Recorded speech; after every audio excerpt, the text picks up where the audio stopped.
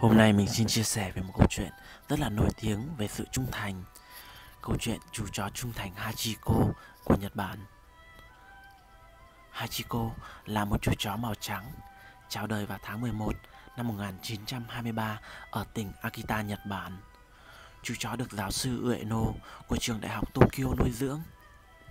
Do gia đình giáo sư không có con trai nên ông coi Hachiko như là con ruột. Hàng ngày như thường lệ, cứ mỗi buổi sáng là Hachiko lại tiễn giáo sư Ueno đến nhà ga để ông lên tàu đi làm. Và cả hai đều đi bộ đến nhà ga Shibuya. Chú chó trung thành Hachi có nickname là Hachiko. Do Hachiko không được phép theo giáo sư đến trường đại học Hoàng gia, nay là Đại học Tokyo, nơi ông đang giảng dạy.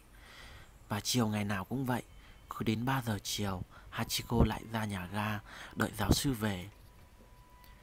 Nhưng vào ngày 12 tháng 5 năm 1925, giáo sư Ueno đã qua đời sau một cơn đột quỵ khi ông đang giảng bài trên giảng đường trường đại học và mãi mãi không trở về nhà được. Còn Hachiko cứ mỗi cứ như mọi ngày vẫn đến nhà ga vào lúc 3 giờ chiều để đón chủ nhân về. Nhưng hôm đó đã qua 3 giờ, đã qua 3 giờ rất lâu. Bao nhiêu chuyến tàu đã đi qua, trời đã tối mà không thấy giáo sư về. Và Hachiko, chú chó trung thành, không hề nản lòng. Hachiko vẫn đứng đó đợi và đợi. Hachiko linh cảm đã có chuyện gì không lành đã xảy ra. Tuy tuy vậy, Hachiko vẫn đứng đợi, đứng trước nhà ga đợi chủ nhân vào 3 giờ chiều mỗi ngày. Chẳng bao lâu sau, những người xung quanh đã bắt đầu để ý tới sự chờ đợi vô vọng đối với người chủ nhân đã qua đời của mình. Lần lượt, những người làm vườn trước đây của giáo sư đến giám đốc nhà ga và những người dân trong vùng đã thay nhau cho Hachiko ăn, thay nhau chăm sóc Hachiko.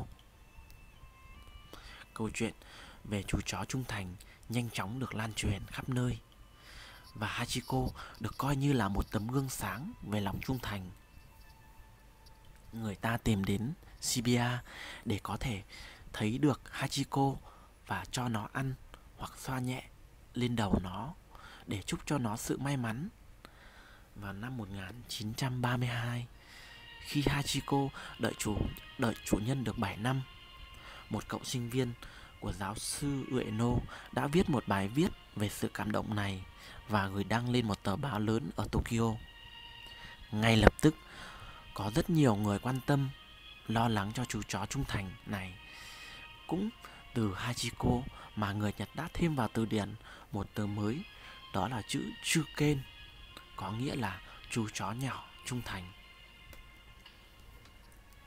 Bên cạnh đó, người ta có thuyết rằng bởi lẽ bên cạnh Hachiko ngày ngày vẫn đứng đợi chủ nhân của mình có một quán thịt nướng và Hachiko rất giỏi trong việc gỡ những miếng thịt nướng ra khỏi que để nướng nên thường được các vị khách cho chú ăn.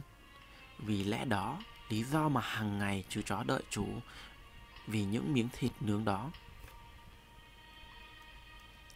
Nhiều ngày, nhiều tháng, rồi nhiều năm trôi qua, Hachiko vẫn có mặt đều đặn ở nhà ga vào lúc 3 giờ chiều, mặc dù thời điểm đó nó đã bị bệnh viêm khớp và đã quá già yếu.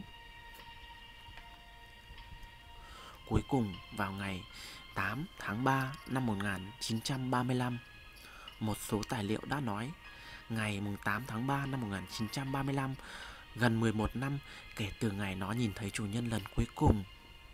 Người ta đã tìm thấy Hachiko và lúc đó đã 12 tuổi, nằm gục chết tại chính nơi mà nó đã đứng đợi chủ nhân của mình trong suốt nhiều năm qua. Cái chết của Hachiko được đăng lên trang nhất của rất nhiều tờ báo lúc bấy giờ và đợi và người ta đã dành hẳn một ngày để tang Hachiko. Từ số tiền đóng góp của người của dân chúng trong cả nước, người ta đã thuê một điêu khắc